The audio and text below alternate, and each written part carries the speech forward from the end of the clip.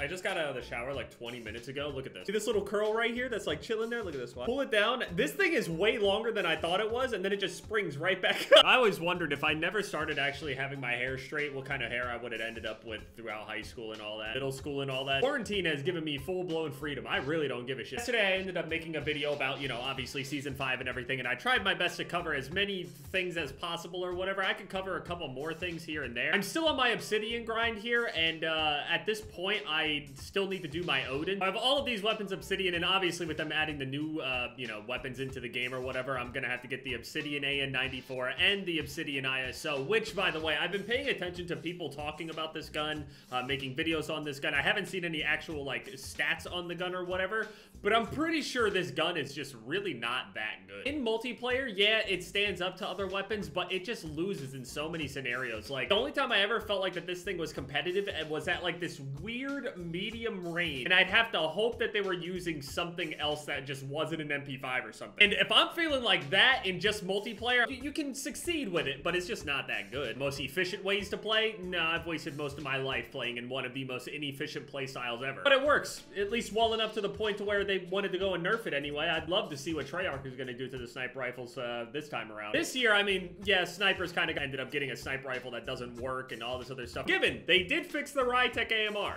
They did fix it. So if and when I do hop on the Warzone, I will mess around with that Rytec. I haven't seen anyone use it or anything like that. Obviously, just give it a few days. I'm sure people will try it out. Most people are running Bruen MP5. That's the most sweaty thing. Most people are not sniping, let alone going around and sniping with the Rytec AMR. I think we'll definitely see a lot more people use it and stuff, you know, with it going around and everything. But so I've just been running around in regular core, just playing kill confirmed and stuff. Uh, I ended up passing out last night. I was dead. I've yet to actually have like another 100 plus game on any of these maps, 6v6, 10v10 or whatever. I was so used to all the shipment numbers that I was getting to the point to where I was annoyed when I only got like 80 kills. Now on here, it's like I'll think I'm having a good game and I look at the score and I have like 30 kills. Progress is just abysmal, man. The multiplayer is just, ugh. How did this game survive this long?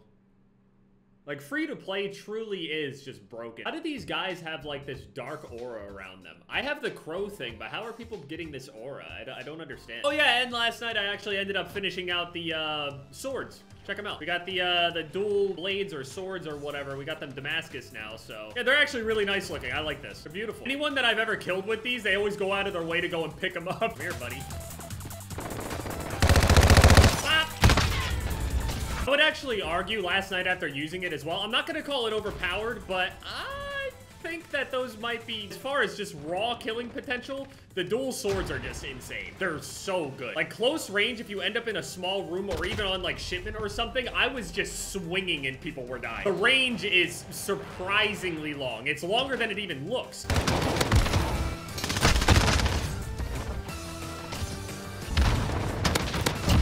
Yeah, hold on, wait, I have to turn on my uh, filter thing. There we go, now things should be a little bit uh, crispier. Everybody just plays so slow and just so scared, it's just...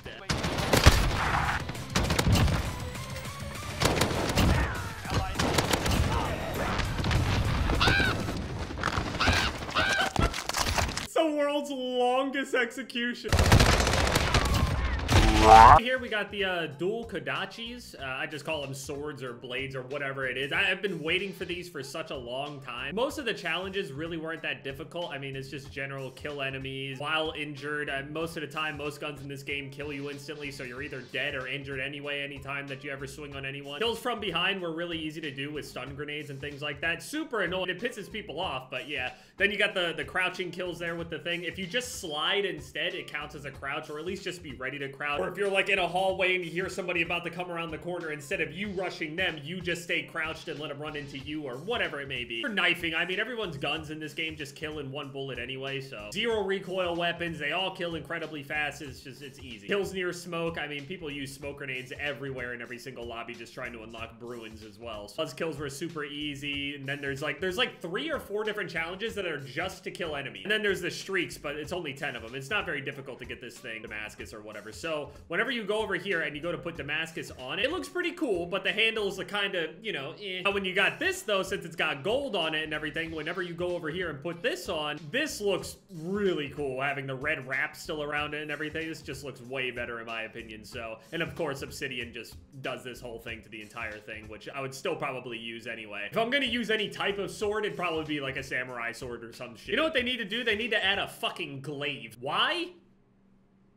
Honestly, at this point, why not? This is the class setup I'm running, by the way, on the uh, the Odin here. It's just compensator on here. Got the biggish barrel on here, even though I would argue that you probably wouldn't even use its range with this, but it's whatever. You go to Commando foregrip because it does bounce around to the side visually anyway a little bit. Got the stock because this gives you the fastest uh, ADS speed of all of the other attachments in the game next to uh, the laser or whatever. So the stock and the laser almost always have the same ADS speed bonus. So I just go with this. The only downside is aiming stability. Usually I would worry about, you know, having having ammunition or whatever, but we just put on sleight of hand instead in multiplayer just so you can reload way faster. And the sleight of hand reload on the Odin is super nice. So compensator plus commando foregrip with this on here makes this thing just deadly accurate. If it bothered me enough with the iron sights and stuff like that, and I wanted to have a bit more range, I could always take the perk off and then just put like some sort of optic on, but it's, it's multiplayer. Most of the time, you're not making any of those shots like that. As far as whatever I ran with the dual blades, I just use like the usual setup that a lot of, uh, you know, knifers would use. So I go double time. Kept Ghost on here. Some people use High Alert, other people use Restock and things like that, but I, I just kept Ghost on. Just because in multiplayer, people are constantly cycling them, even though a ton of people still use Ghost. You need every advantage you can get with uh, knifing or whatever. I would also even argue that you could use Specialist with it if you wanted. And then the third perk I use Tracker. You don't need to. You could use Spotter, you could use Tune Up or something like that. Uh, for a while, I actually ran Tune Up so I can get Dead Silence more often because then it made it way easier to kill people from behind. They made some sort of adjustment to the audio with this patch that came out that makes everybody so easy to hear, it's disgusting. It made some sort of change to the uh, footstep audio where whenever you're running, now I don't know if this is just specific to Warzone, but I'm telling you I can hear people better in multiplayer as well. So I I'm assuming it affected everything. Now, if that player that is tactical sprinting just straight up stops and crouches,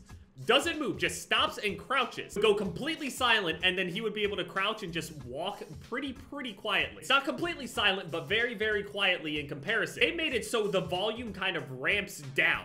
So when your tactical sprint, volume of your steps are going up, and then when you stop, it's supposed to be immediate. But instead, they changed it into a thing where that audio kind of makes it sound like it's fading instead of just stopping altogether. So now you can't be as sneaky in a game where you already can hear the size of people's fucking boots. Yeah, these things, when you go to inspect them, I mean, look at it. Oh. it is so nice, man. I, these are so cool. They're everything I wanted them to be, and they're honestly stronger than I thought they would be.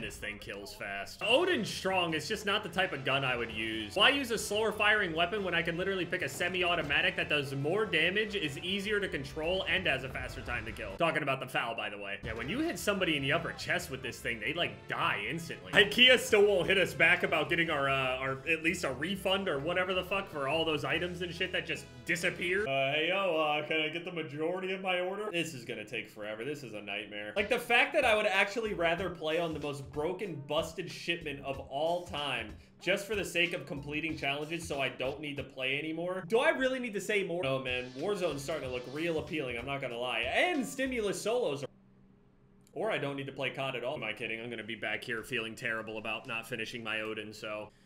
I'm stuck. I'll worry about getting the AN94 and the uh, ISO uh, Damascus a little bit later. I just want to finish this shit. Like, oh, there's so much still. It just feels like there's still so much without shipment. I'm gonna have to find some sort of magical playlist that somehow is able to help this because I, I don't know what to do. Maybe I should like hit up Hammy and try to figure out how these guys even do anything without shipment. Can't believe I get on this game just to get spawn killed and I somehow enjoy it. But I don't. But I want... This is some sort of fucked up system, I'm telling you.